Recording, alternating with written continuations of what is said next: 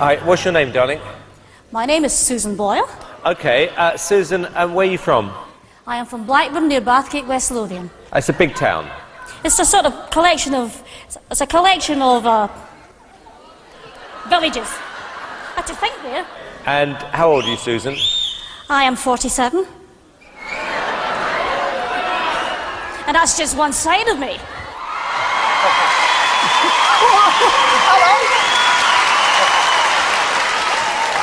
Okay, what's the dream?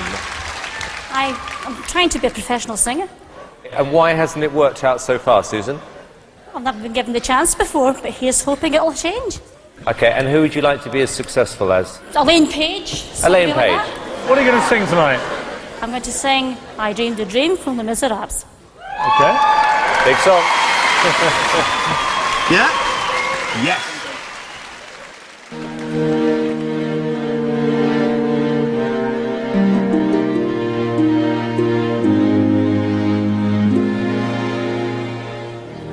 I dreamed a dream in time gone by.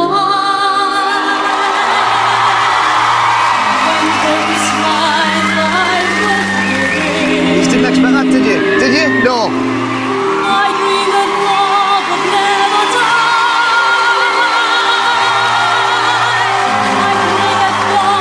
I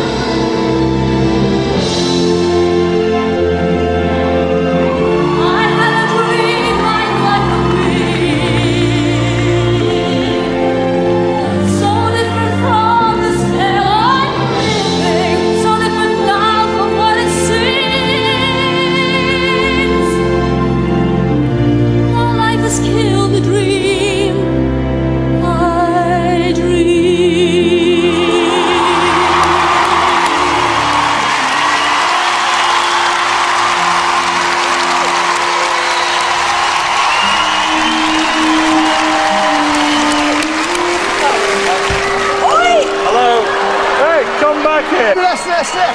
Today. Today. All right. Uh, thank you very much, uh, Susan Piers.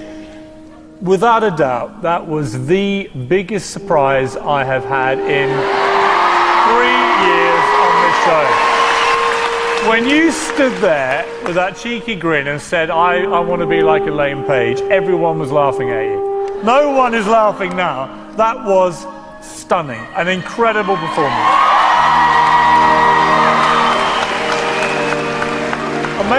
I'm reeling from shock about you two, but I am so thrilled because I know that everybody was against you.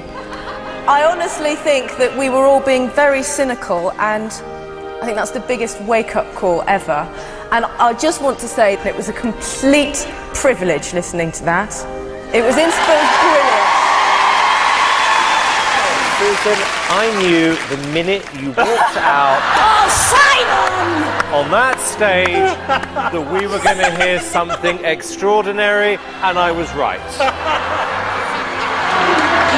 Not a lot of touch. Susan, you are a little tiger, aren't you? Oh, I don't know about that. You don't know are. about that. Okay, moment of truth. Here's yes or no. The biggest yes I have ever given anybody. Amanda? Yes, definitely. Brilliant. Amanda, you too! Susan Boyle, you can go back to the village with your head held high. It's three yeses.